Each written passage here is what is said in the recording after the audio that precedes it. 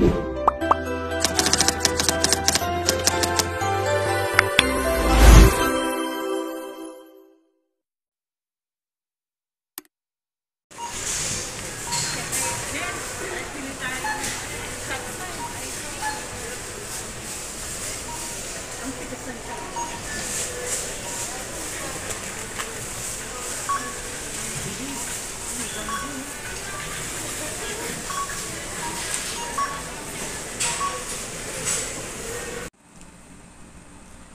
Guys! Welcome back to my channel. Pasensya na kayo, malat pa rin ako ngayon. So today ay mag-haul tayo ngayon kasi kanina umaga ay nag-groceries ako. So while mag-haul tayo, magkakape muna ako.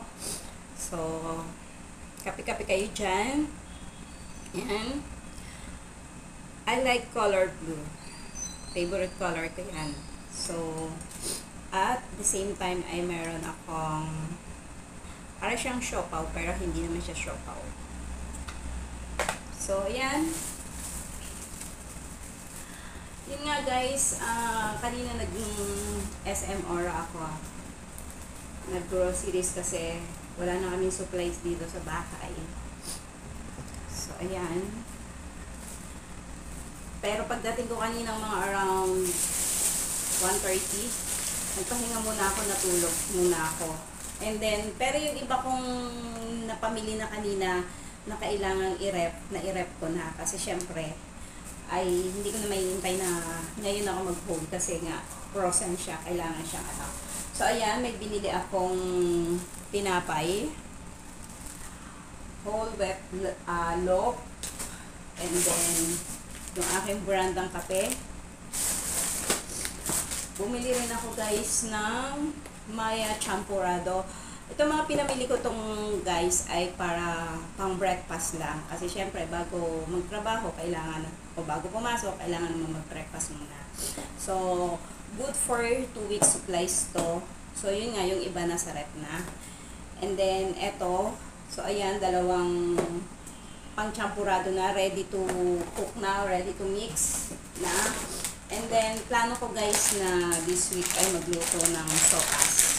Kaya bumili ako ng ideal pasta. Yan. So, meron na rin naman kaming mga some vegetables sa rep. Kaya, hindi ko na siya binili kanina. And also, itong Maya, the original hot cake mix. Yan. So, last week, bumili rin ako yan. Bumili ako nito. Ayun. So, ayan uli. Dahil since may laman pa to, yung pack nito meron pa. So, bumili na lang ako ng ganito kalaki. Yan. And then, bumili ako ng mayonnaise. Bumili ako ng mayonnaise.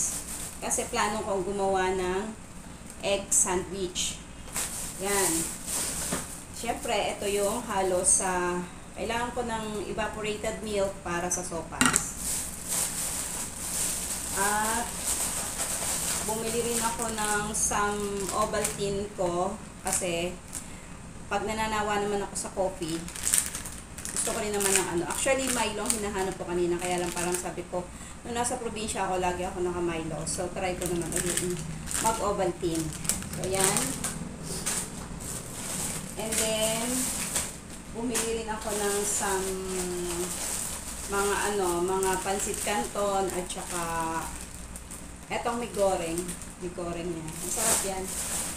Hindi ako ng mga pansit canton na iba-ibang variant. Yan.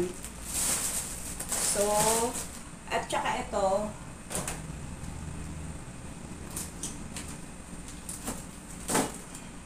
bumili nga ako nito guys ng Pure Foods hotdog para and then yung egg na rin.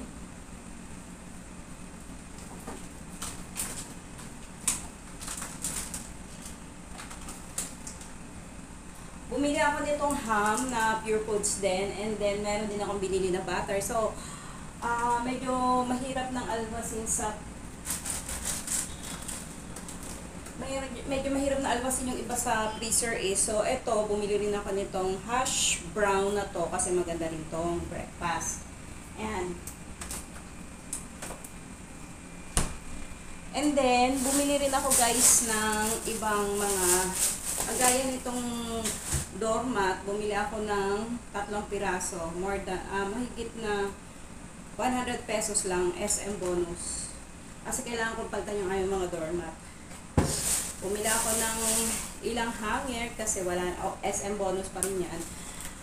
Kasi, pagka ganito tagulang, mahirap magpatuyo. Although naka-dryer, mahirap magpatuyo. So, kailangan ko additional hanger. Bumili ako ng sunrocks kasi meron akong damit na kailangan ko i-sunrocks. Yung dikulay. Itong ganitong sunrocks, guys, ay maganda siya sa dikulay. Hindi magpipade yung kulay ng, yung original kulay ng inyong damit. Pagka nagkaroon ng stain ng damit nyo, at gusto nyo tanggalin yung stain, etong ganitong sunrocks lang guys ang gamitin niyo. Huwag yung original, o huwag yung white na sunrocks. Kasi magpipade yung original color ng damit niya. So pag ganito, okay yon. And then, bumili ako ng SM bonus pa rin, baka naman, ng additional basahan. Kasi, pampunas-punas.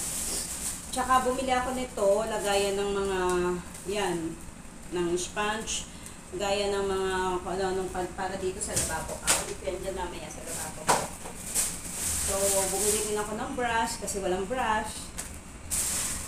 Bumili rin ako nito, kasi yung binili kong hand nung isang araw, sinabit ko lang doon kasi walang hook. So, kaya bumili ako ng hook na to. So, yun nga. And then, bumili rin ako ng kitchen scissor kasi wala kaming kitchen scissor. Lagi ang gamit namin yung kutsilyong maliit. So, kaya bumili ako kanina. At, of course, bumili rin ako ng tong kasi pag may gusto akong prituhin minsan, nahihirapan ako kung walang tong. So, yun lang guys. Naka-worth 2,000 something ako kanina sa pag-groceries na yan. And supplies na yan good for pag matipid-tipid ay aabutin siguro ng 2 weeks kung hindi naman ay I think ano lang yan, mga more than 1 week lang. So, buy na lang uli ng mga pakonti-konting mga kailangan. Since malapit lang naman kami sa mga bilihan dito, kaya afford na rin bumili. So, yun lang guys, and thank you for watching. Uh, first haul ko ito. And kakain muna ako nito at magkakape. Although mainit, pero sa labas ay umuulan. So, yun lang guys, and thank you for watching. Bye-bye!